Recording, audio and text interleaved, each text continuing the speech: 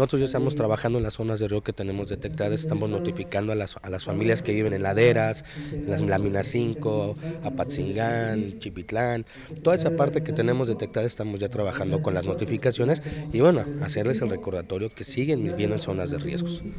Se les notifica, se les dice que vuelven a, a estar otra vez dentro de la misma zona de riesgo en la que tenemos contemplada y bueno, se les notifica y quien la recibe y quien no, no la quiere recibir, pero bueno, nuestro trabajo es prevenir y estar en ese tenor precisamente estamos haciéndolo previo al temporal de lluvias.